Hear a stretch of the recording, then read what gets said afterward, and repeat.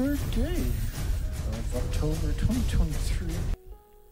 I'm your boy, Dana Durnford, also known as nuclearproctologist.org.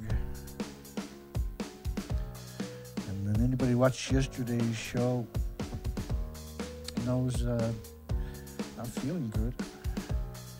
So I slept last night. I missed the show last night, the premiere for the first time. Slept for 12 hours. I got up every hour. And I'm just going to do a short video. Not going to be a premiere tonight.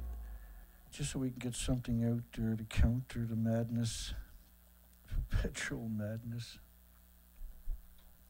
What's mad is uh, there's four of these buildings. That's reactor two and reactor three. There, there's four meltdowns. And they say reactor four didn't melt down, but that sure as hell looks like a meltdown to me. And then at the top of each building was two fuel pools. Each fuel pool was stuffed past capacity because you don't have a repository anywhere. And it could be upwards of five or more reactor cores. And the reactor core that was in reactor four, that's the Medusa reactor three, mixed oxide fuel, the MOX fuel.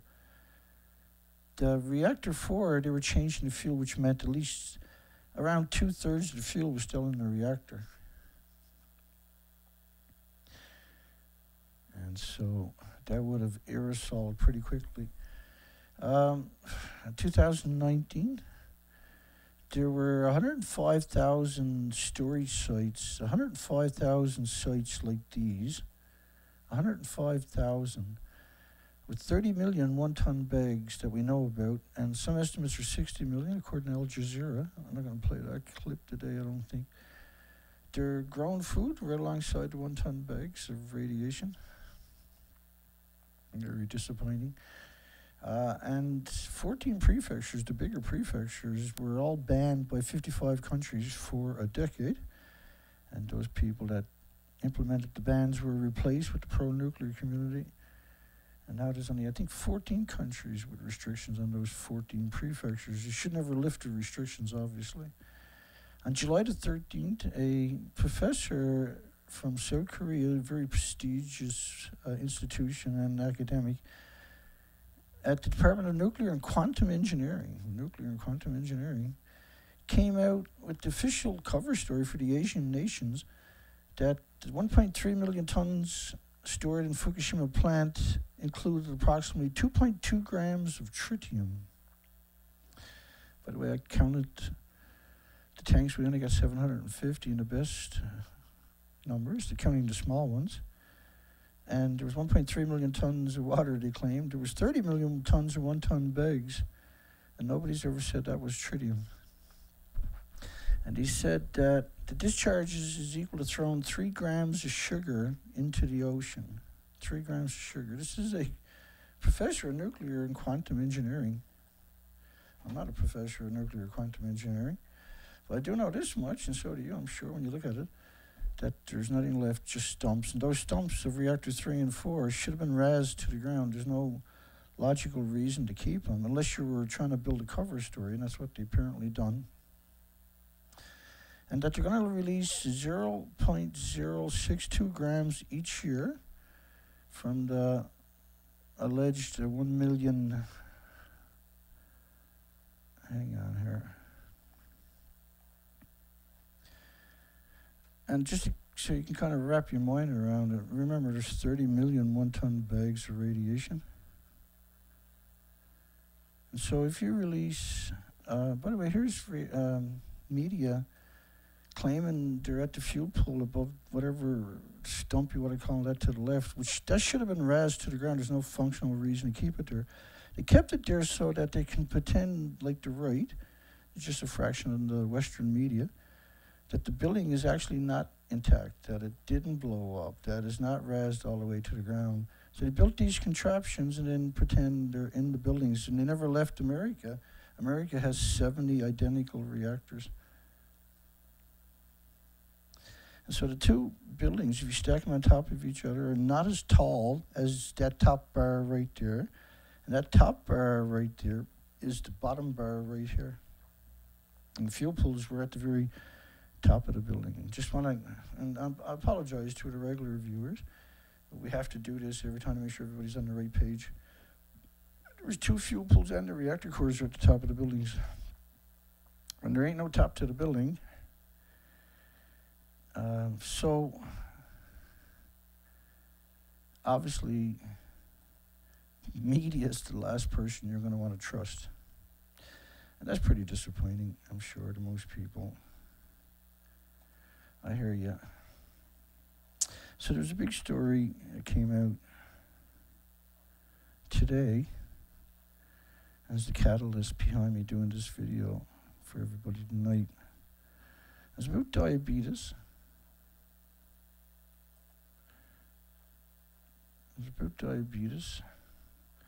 By the way, uh, what they're saying they're going to release each year from the thousand tanks would be equal to dividing that kind 16 times and taking one of them and saying that's all they got out of these buildings in 12 years. So you're very, very real danger. And just because you might be on the other side of the planet doesn't mean you're going to be safe from radioactive fallout. And there's enough information out there. You can only live in denial for so long. I'm drinking lemon chunks of lemon and lime extracts, liquid in about a spoonful into a glass with a lot of ice, and that's working to calm down my throat. Uh, but uh, the other, if the mucus builds up, I'm I'm I'm in real trouble. we'll get through half an hour, hopefully. Study from Fukushima shows even low doses. Study from Fukushima. Study from Fukushima shows even low doses of radiation may contribute to diabetes. Ooh, they're going to get some trouble for doing that. um, this was just released. Studies suggest that the exposure to low doses of radiation may contribute to increased risk of diabetes. Think about the weapons fallout just in America from their, where they radiated their whole country so that the Russians wouldn't do to them. That's called a war, right? Same same amount of radioactive fallout.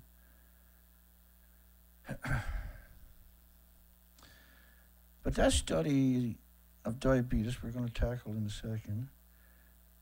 Uh, but there's another study that I want to show you. This was just, I'll just show you a fraction of it. Came out uh, in 2019.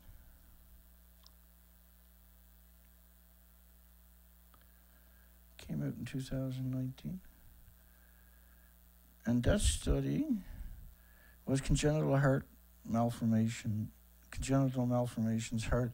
So basically, it was 14.2% of the population in, across the entire country congenital heart diseases, uh, complexities, heart development uh, issues.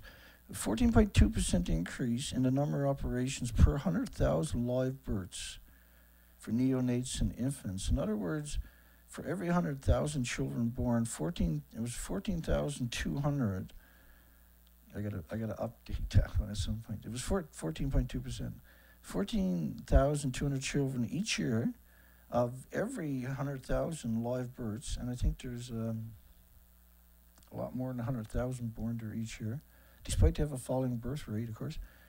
Uh, got nothing to do with perpetual radioactive fallout, I'm sure. D- these numbers are, are inconceivable. They're actually inconceivable. Um, not bad numbers. You got to have open heart surgery when they're born or they'll develop all kinds of illnesses and diseases and autoimmune deficiencies and injuries and illnesses. Study from Fukushima shows even low doses of radiation may contribute to diabetes. I'm just going to flash to this, and hopefully we'll cover it better next time because my uh, my throat is pretty tickled.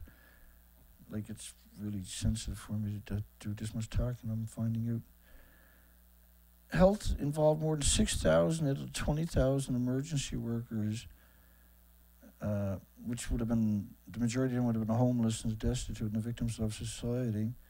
from the Fukushima Daiichi nuclear power plant event, which we covers typically five days a week here for over a decade. Substantial amounts of radioactive material were released into the environment. Well, I mean, what, side of the fence you on? Substantial amount. They've lost around 10 million pounds minimum per building. That's okay. We'll just let's go along with the study here.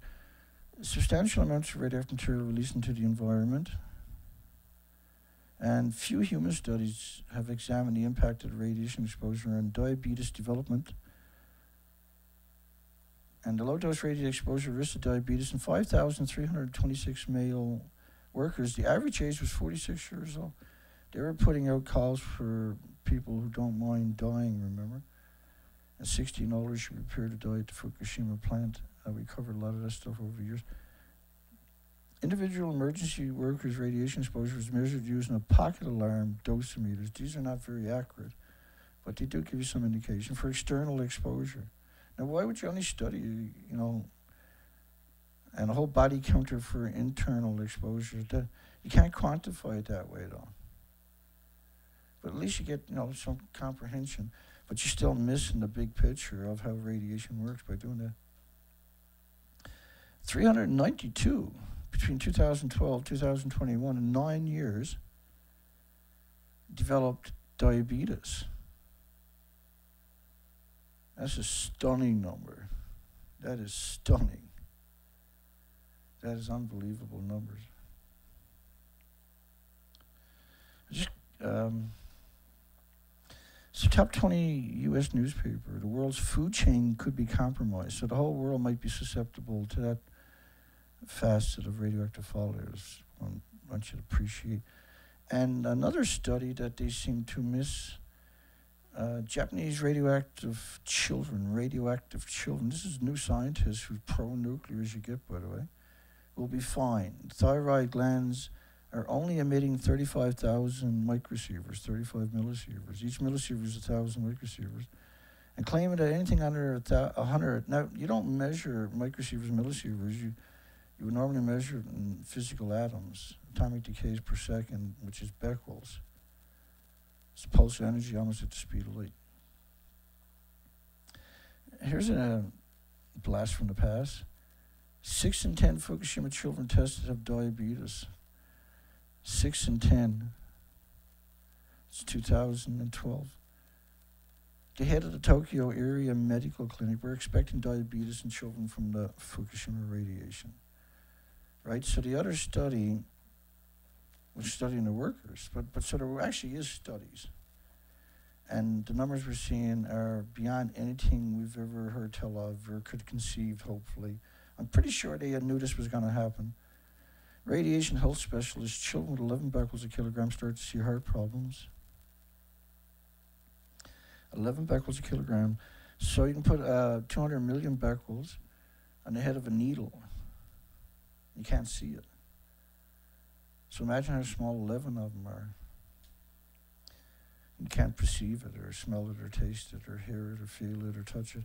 And that the so called regulatory agency, which turns out not to even be that, they're not a regulatory agency at all,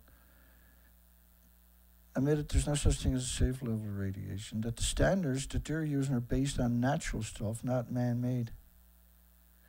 So the International Atomic Energy Agency has hoodwinked the entire planet uh, in the most horrible way, the most horrible betrayal imaginable. They're not even using real standards.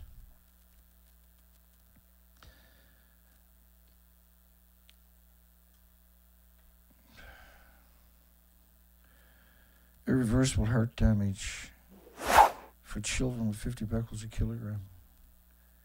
Ir- irreversible heart damage for children with 50 becquerels a kilogram. Uh, 50 becquerels a kilogram in adults lead to irreversible lesions in the vital organs. So we're talking tiny, tiny, tiny, completely barely detectable amounts with very sophisticated equipment are catastrophic to the health of humans. So what's that going to be like to the insects, the birds, the mammals, the animals, and everything else, which are infinitely more vulnerable? Cancers or illnesses, heart, liver, lung, respiratory, pituitary, thyroid, adrenaline. And then there's mental health, real mental health issues, and not from phobia, but from dementia and autism and diabetes and Down syndrome and schizophrenia, just to name a few. And another study showing 35.8% of the children, 13,646 out of 38,000, had thyroid tumors, and the thyroid tumors were two centimeters. The thyroid gland is only three centimeters by five centimeters. So you got an absurd amount of documentation. You got studies on massive uh, thyroid tumors in the children. You got 50 becquerels a kilogram in adults lead to irreversible lesions on their organ, organs. In children's irreversible heart damage. And that the international energy standards are based on natural, not man-made. That 11 becquerels a kilogram and just cesium. You can't just have cesium, by the way. You start to see heart problems. There's 6 and 10 Fukushima children with diabetes. And there's a lot of children with diabetes. The world food chain could be compromised. And that's because there was 865,000 extra cancers in the first year. Not everybody was diagnosed.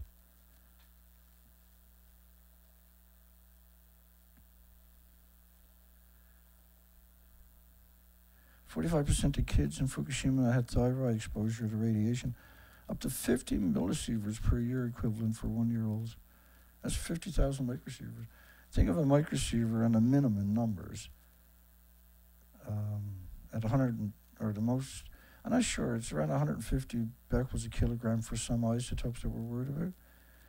So 150 times, um, it's just a mic- per microsiever. So 150 times 50,000, because there's uh, 50,000, there's a thousand microsievers and a millisiever, and a millisiever is equal to about 150 becquerels, atoms, physical atoms. It's very unhelpful to use the, the millisievers, microsievers, because we're talking about fallout. And so that's how they cover up the damage and uh, the significance. So not just cancer causes heart diseases, strokes, liver, lung, respiratory, pituitary, thyroid, adrenaline. Burns hole through your lungs, the children's lungs, ends up in their bones, mutates their stem cells. When it gets into the species thyroid glands, and the numbers we're talking about are extraordinary. There's no way it didn't. It mutates uh, their hormones forever and ever. The very lowest levels of radiation are harmful to life. Got to rethink exposure levels from nuclear disease factories. Oh, just got to make it another 10 minutes or so. I'm afraid to raise my voice because I'll cough myself into oblivion here. Fukushima has humanity on the brink of a possible worldwide nuclear holocaust. And the world as we know it has changed, and that the effects on our health are incomprehensible. Well, it's, it's an extinction event. France says Japan has lost control. The French will leave the country. Top cancer doctor, nuclear radiation, most carcinogenic thing that exists. So there was a lot of people originally speaking out, wasn't it? But that stopped after, well, it didn't stop completely after about four years, like I was just about to say. But time we got into six and seven years, it was very difficult to find any dissenting opinions or voices. And by uh, 2017 or something like that, I think that was the end of it. We never heard any dissenting voices in the last six, seven years. How low doses of radiation causes heart diseases, strokes, disinformation by nuclear proponents, but pro-nuclear lapdogs, the, the jackals, the, the cowardly jackals, try to confuse the public about the effects of the external, internal. You can't get external without getting internal, unless you don't breathe air at all, ever. Uh, but you can still absorb it through the rain, through your clothes and skin, and then by proxy. Child's risk of cancer from radiation. Now there's 1,800 diseases besides cancer your immune system gets compromised right away, so your body is more susceptible to pathogens and viruses and, and things. child's risk of cancer is 100 times, probably thousands of times worse for a child than an adult with the same exposures because the child is developing, right? And so the hormones being affected and um, the mutated stem cells are a catastrophic event for any species, you know, uh, including the human. Officials sharply raised the radiation levels to get the iodine pills 75 times higher than the World Health Organization recommended. That's genocide. That's 100% genocide we're talking about. We're talking about literally the cruelest thing you could do is deny people the ability to even take a freaking pill. By raising 75 times higher than the crazies already has it, which is WHO, which is UN.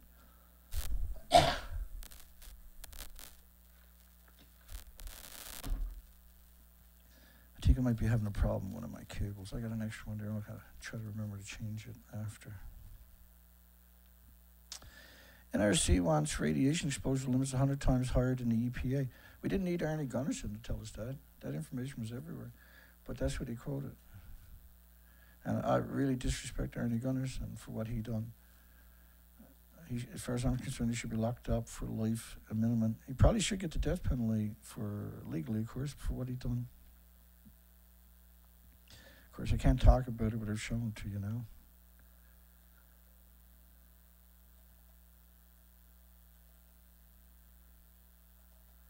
It's stunning how much stuff I got. Drives me crazy. So, let me check the volume first. I'll adjust it in real time if there's.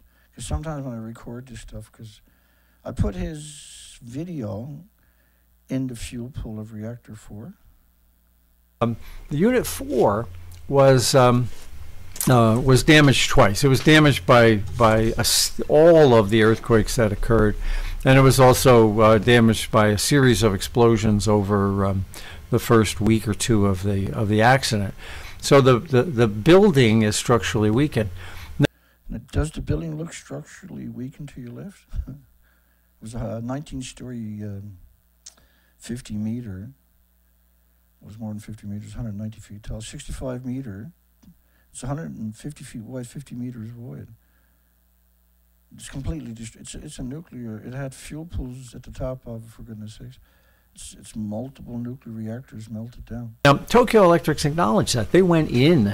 Now there's zero. It's zilch. It's zero possibility somebody went in there. And what makes this incredibly heinous is Arnie made the racks for the fuel pool assemblies, so he knows what's what and what's not. And so he definitely knows it's all gone. In uh, in May and June of last year. So when you look at this depiction, what you can appreciate is there is no building. The building was 190 foot tall, and the reactor cores were at the very top of the building. This is more than a year ago, and put an enormous number of extra structural supports directly under the fuel pool. So the fuel pool is at the very top of the building. There's no building. How can you put structural supports? And so Arnie, of course, he made the racks for the assemblies for the fuel pools surely you can trust him, but you just heard it with your own voice. And there's many like that. Uh, Helen Caldicott, Christopher To keep the bottom of the pool from breaking through. it's completely gone. It's terrifying that that is considered acceptable for someone to do that. That that is truly terrifying that people have done that. Swiss embassy evacuated Tokyo. Korea calls Japan's handling incompetent. Reactor 3, the Medusa, actually ejected the reactor cores from the fuel pools. You're talking about 10 reactor cores getting tossed out of a building at catastrophic speeds. The explosion was felt 25 miles away, and that models of the emissions based upon venting, not based upon the actual um, inventories or loss or the actual meltdowns, shows it covered the entire planet 26 days. And we have academic studies quantifying that assertion.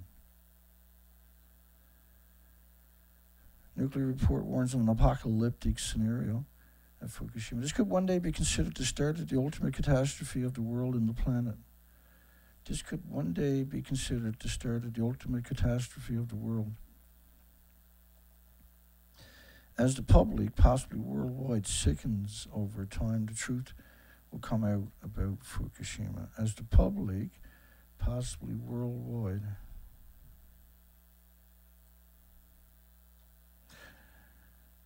Okay.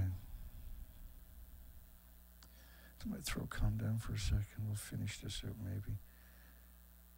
Now remember, the shipping, each prefecture is producing around a billion pounds of food that were banned by 55 countries. They didn't stop growing it, and they didn't stop shipping it. All right. So we got studies showing a million becquerels a square meter in North America of xenon 133. A study showing 20 million particles of radioactive iodine 131 per liter sustained radioactive fallout from Vancouver, British Columbia. We got studies from Ottawa, Canada, 220 million atoms. We got all kinds of isotopes and studies quantifying the fallout. This is not an opinion, these are not conjectures. So, I launched research expeditions from Vancouver, British Columbia to Alaska. And uh, I was considered the worst person on the entire planet for doing this. I've done it year after year for six years, and my findings are incontestable. They're unassailable documentation. And it's based upon actual documentation. This was a typical day. And here's what we discovered was that the species to your left are exterminated. And we went back year after year to quantify that to see if they returned and repopulated the coastline. And they didn't. And I was stalked and harassed. I was doxxed. My address, pictures of my home, my vehicles were posted online with uh, stuff and try to incite people to hurt me or even kill me. I was told on when I was getting ready to sail out the harbor to head up for four or five months on the research expeditions that I was going to get kidnapped by the hellhounds and that they would use a blowtorch on me if I didn't stop the expedition right now. Of course, I went on the research expeditions and I paid a horrible price now for over a decade for doing this. And my reputation completely destroyed. They have destroyed, absolutely destroyed every facet of my name online. You can't research my name without finding the most horrible, vile,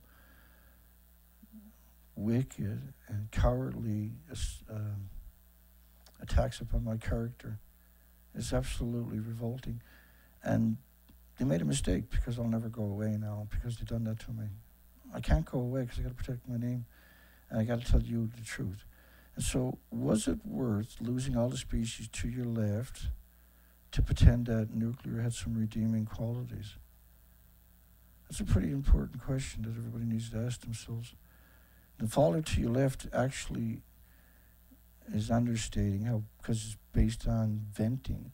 This model, by the way, here is 19 days for fallout to your bottom right hand corner. And the species to your left is wonderful, incredible, just absolutely stunning diversity has been exterminated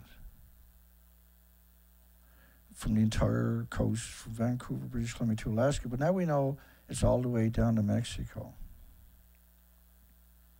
That's an extinction event.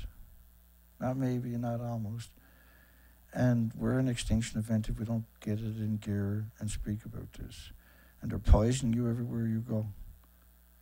They ship the food into your countries, ship it to other countries, change the label, and ship it in your country.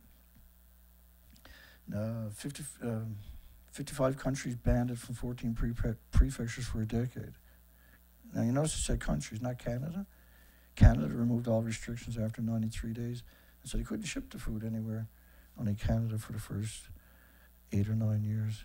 And, and they know how deadly it is to grow food in nuclear wasteland. Let's, let's not pretend for a second that they don't.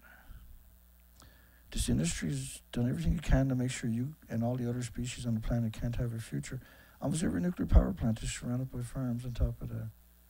Almost every single one of them. And anyone that's not is now surrounded by radiation from perpetual radioactive fallout. Another study out of France was showing 10 million becquerels of cesium-137 in North America. That model is only based on nine days, on the 18th of March.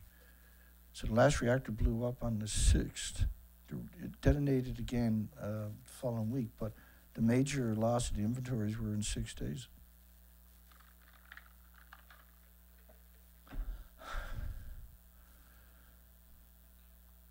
And uh,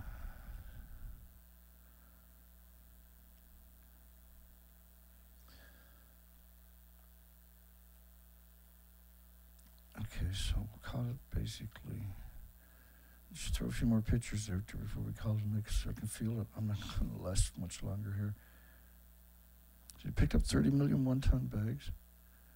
They sent out around 10 billion pounds, 10 billion pounds just of rice a year from the nuclear wasteland to worldwide. The buildings don't even exist. They've taken great pleasure in making sure you can't have a future. And they've worked um, relentlessly to silence any opposition, any facts. And frighteningly, there's really not anybody on the planet right now telling the story. So I'm kind of ran into the ground because we got to try to do try to do five shows a week to keep the story alive. They called me today. Uh, the truck is ready to take her for another test drive. They said, and um, I was just too sick to do anything today. I will go tomorrow regardless of how sick I am. I'll take it out, hook the boat up, and take it for a little run around the roads here to see if it's holding up. Hopefully I can report back we resolved it. Not a disaster. We got no choice but to succeed, so that's what we'll do. We'll see everybody tomorrow night, hopefully. Try to get another little video, or hopefully I'm feeling better. We'll get a pretty good shot. There's radio silence now in the Tritium and Fukushima for three days now. And it was nothing but since July the 13th, right? We barely covered the nuclear cycle because the Fukushima cycle has dominated the news cycle. Looks like they put that baby to rest. And if we don't revive this and have a discussion, it'll never ever happen. And we owe that much to ourselves. Have a great night. Have a great day. Hopefully we'll see you tomorrow night. Take care, everybody.